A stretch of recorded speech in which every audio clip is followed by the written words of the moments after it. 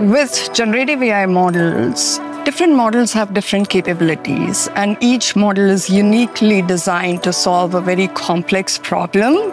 But the more evolved they become, the more specific they also get. I'm Ami, I work on Copilot Studio.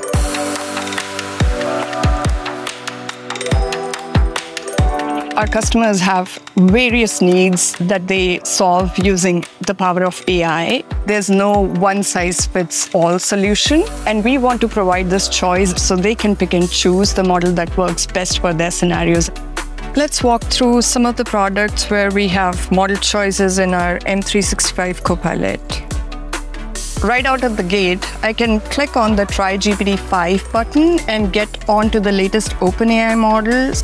For more deeper research, I leveraged my researcher app, which now comes powered with the latest Claude model.